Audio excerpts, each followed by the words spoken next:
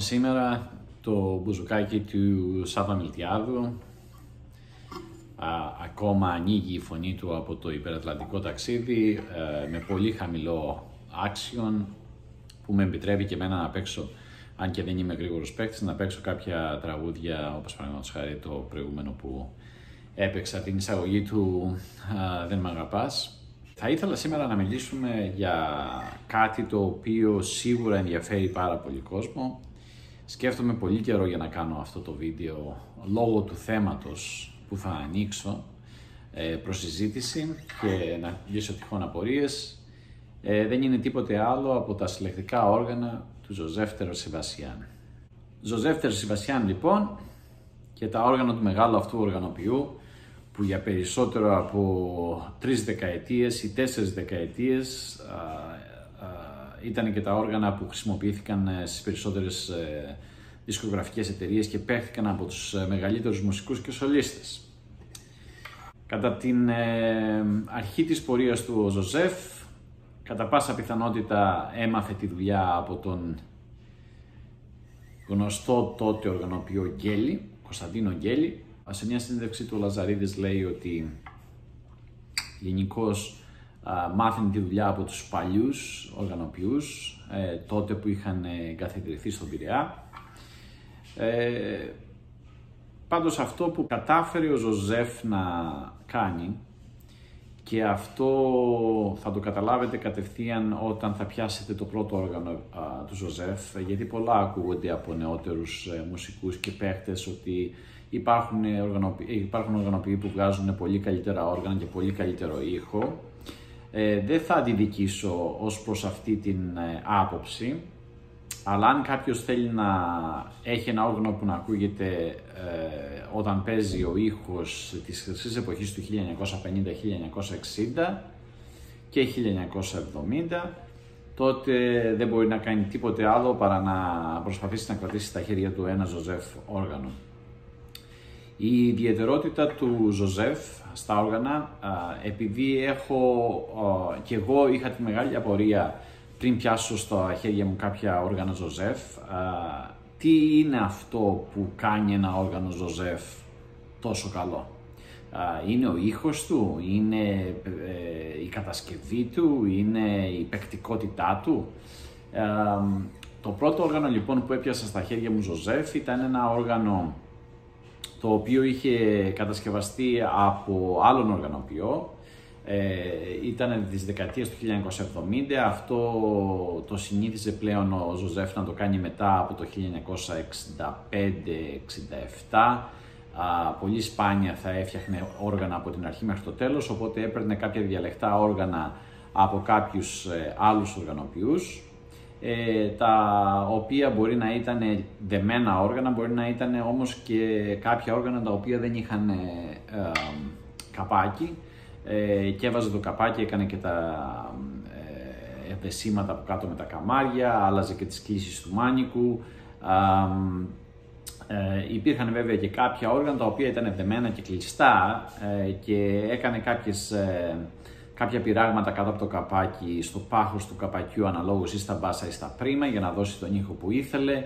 Ε, άλλαζε το κόκαλο το μικρό και το κόκαλο του καβαλάρι, ολόκληρο του καβαλάρι ε, και έκανε κάποια σεταρίσματα και προσπαθούσε και έδινε, προσπαθούσε και κατάφερνε να δώσει τον ήχο του. Α, ποια είναι λοιπόν αυτή η ιδιαιτερότητα που είχαν τα όργανα του Ζωζέφ; Ε, και θα προσπαθήσω με πολύ απλά λόγια να σας το δώσω να το καταλάβετε σε αυτούς που δεν έχουν πιάσει ε, στα χέρια τους ε, όργανους Ζωζεφ. Καταρχήν το, τα όργανα του Ζωζεφ είναι πάρα πολύ μαλακά όργανα. Δηλαδή η απόσταση των χορδών από την ταστιέρα είναι πάρα πολύ μικρή. είναι μαλακότατα όργανα με τα οποία μπορείς να παίξεις γρήγορα ε, αυτό βέβαια το έχουν και άλλοι οργανοποιοί, κάποιος θα μου πει, σημερινοί τουλάχιστον. η ιδιαιτερότητα όμως του Ζωζεφ δεν έγκειται μόνο στο πόσο μαλακή ήταν η ταστιέρα ε, και πόσο ελαφρύ ήταν το όργανο στο μάνικο όταν το έπαιζες. Ε, η ιδιαιτερότητά του ήταν στο ότι μπορούσε να κρατάει τον ήχο μετά από το χτύπημα της χορδής σε παρατεταμένο σημείο με αποτέλεσμα να δημιουργεί ε, ένα δεύτερο φυσικό reverb μέσα στο ηχείο με τον ήχο αυτό. Δηλαδή, ε, ο ήχος του Ζωζεφ όταν παίζεις σέρνει, δεν χτυπάς, δεν είναι στα κάτω, φωνάζει και πετάει τον ήχο έξω, έχει τη δυνατότητα όχι μόνο να είναι στιγμιαία να φωνάζει, αλλά και σαν δεύτερη ενέργεια να κρατάει τον ήχο, το, το, την παλμικότητα αυτού του ήχου της χορδής, την παλμικότητα της χορδής και άραγε τον ήχο, να τον κρατάει σε εκτενές βαθμό, έτσι ώστε να δημιουργεί μια ιδιαιτερότητα στη χρειά, αλλά και την ίδια στιγμή, επειδή ο ήχος κρατιέται τόσο πολύ, ο ήχος μέσα στο ηχείο μεγαλώνει και δημιουργεί ένα βάθος. Σαν να έχεις δηλαδή ένα φυσικό reverb, σαν να έχεις κάποιον ηχολήπτη μέσα και να το βάζεις στην πρίζα το όργανο. Χωρίς όμως το όργανο να είναι στην πρίζα. Αυτό το, αυτή την ιδιαιτερότητα του ήχου έχουν πάρα πολύ προσπαθήσει οργανοποιοί μεταγενέστεροι να το καταφέρουν. Ε, και αν κάποιος συνειδητοποιήσει ότι μπορούσε να κάνει δύο πράγματα την ίδια στιγμή, δηλαδή ο ήχος του να είναι εξωστρεφής και εσωστρεφής την ίδια, την ίδια στιγμή. Εξωστρεφής έτσι ώστε να είναι στα κάτως και να φωνάζει το όργανο, εσωστρεφής έτσι ώστε να, ο ήχος να παραμένει για μεγάλο χρονικό διάστημα και να δημιουργεί ένα βάθος ένα ιδιαίτερο βάθος και μια, ε, μια, μια στρογγυλάδα, μια ιδιαίτερη στρογγυλάδα. Μάλιστα, πολύ χαρακτηριστικές είναι στο Ζωζέφ οι χορδές λάι, οι δεύτερες χορδές.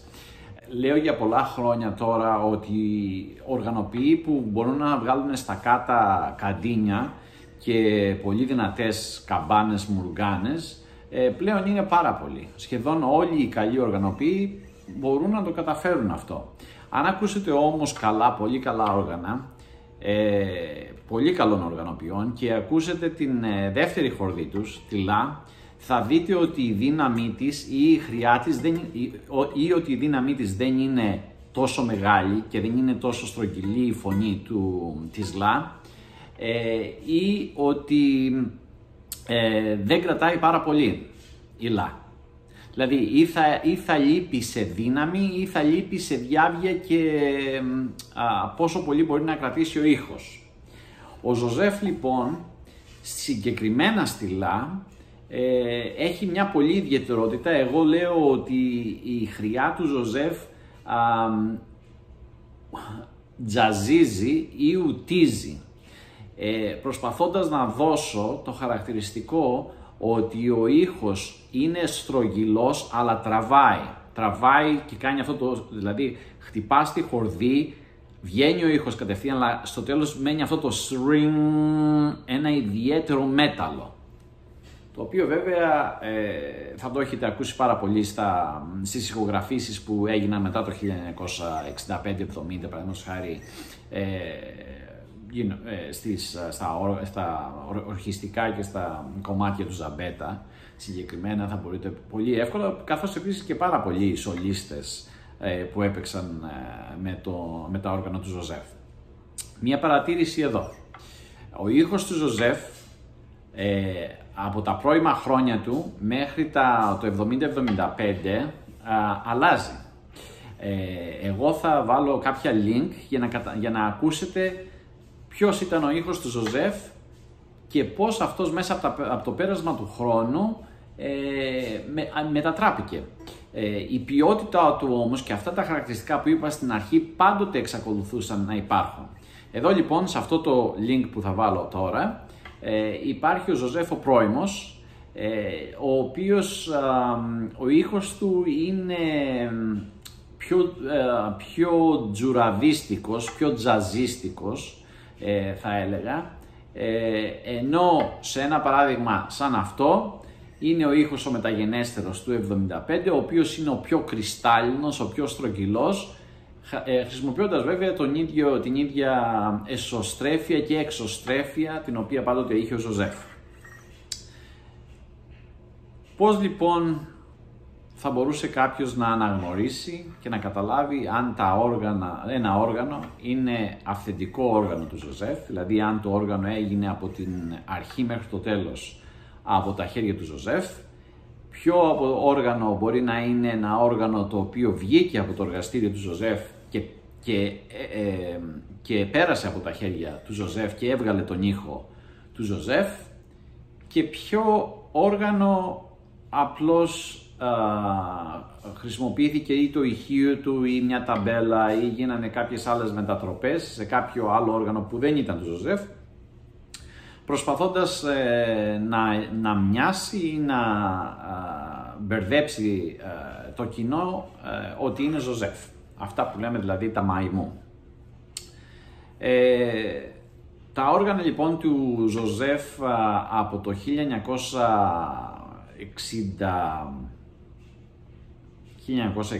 1965 και μετά, είναι πολύ εύκολο να, να, να αναγνωρίσει κάποιος τα αυθεντικά όργανα από το 65 και μετά. Υπάρχουν α, κάποιες α, κατασκευαστικές ιδιοτυπίες, α, ιδιομορφίες που, είχε, ε, η, το, που, είχε, που είχαν τα όργανα του Ζωζεφ, ε, τα οποία κάλλιστα κάποιος αν αρχίσει και κοιτάει φωτογραφίες ε, αυθεντικών οργάνων του Ζωζέφ και τα συγκρίνει με άλλα όργανα εκείνης της εποχής, θα καταλάβει ακριβώς αυτές τις ιδιομορφίες.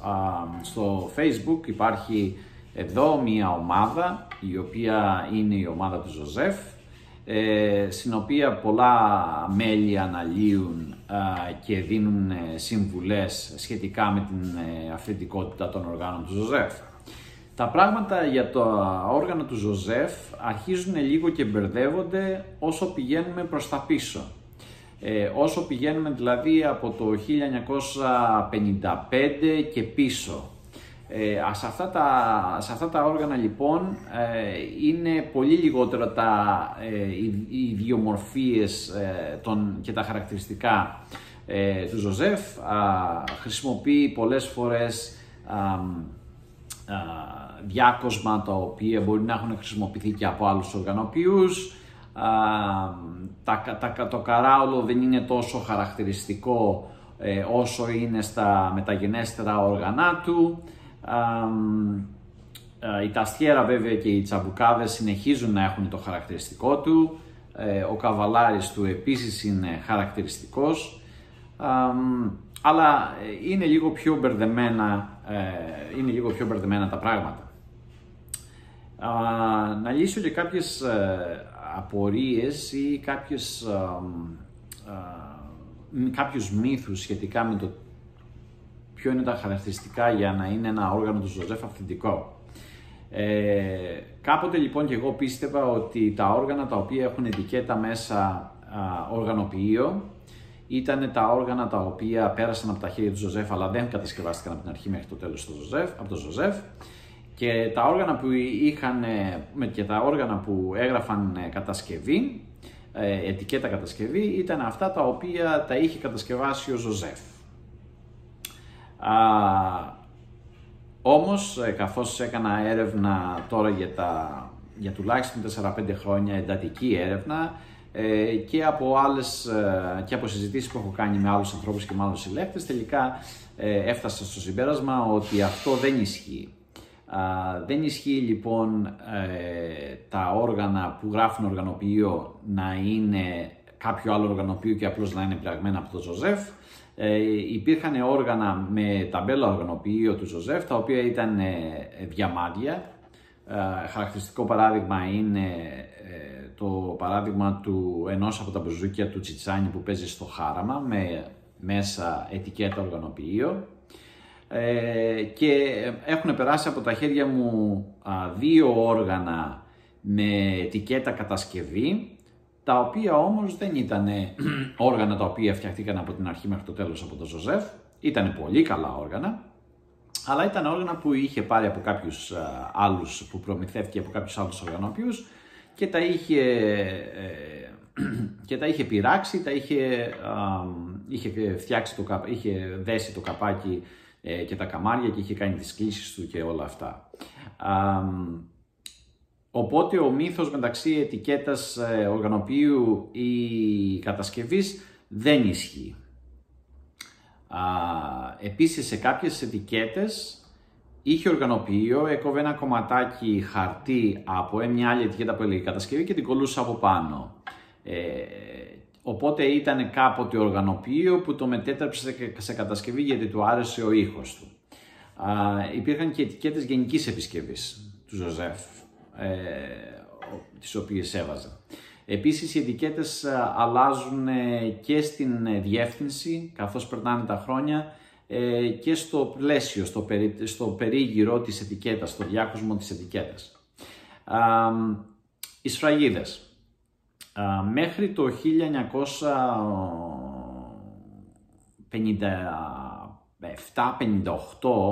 δεν υπήρχαν, δεν έβαζε σφραγίδες στα όργανα του.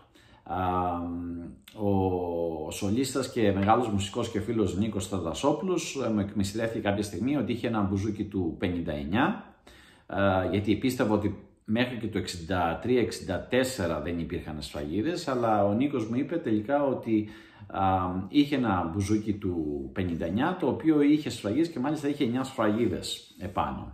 Α, συνήθως οι σφραγίδες που έβαζε ήταν δύο πίσω στην ε, κολάτζα ε, και αν θυμάμαι καλά μία ή δύο στο καράολο, στο πίσω μέρος του καράολου. Ε, ο Νίκος βέβαια μου είχε πει ότι το όργανο εκείνο είχε σφραγίδες ακόμα και κάτω από το καπάκι. σε κάποια όργανα όμως ε, τα οποία έπαιρνε από κάποιος άλλος κατασκευαστής και έκανε, έβγαζε, ε, τα πήραζε και έβαζε τον ήχο του, ε, έβαζε και σε αυτά, αν ο ήχος του άρεσε πάρα πολύ, ε, θα κόλλαγε το χαρτί να γράφει κατασκευή και θα έβαζε επίσης και δικές του σφραγίδες. Οπότε και εδώ ούτε και οι σφραγίδες είναι ε, μια μοναδική ένδειξη ότι, το όργανο, ότι ένα όργανο του Ζωζέφ είναι αυθεντικό. Υπάρχουν πάρα πολλά μικρότερα κατασκευαστικά χαρακτηριστικά του Ζωζέφ που δεν θα ήθελα να μπω στην λεπτομέρεια να τα αναλύσω για ένα και μόνο λόγο. Όχι διότι δεν θα ήθελα να αυτοί που μας ακούνε να μάθουμε ε, για το πόσο ο Ζωζέφ ε, έφτιαχνε τα όργανά του.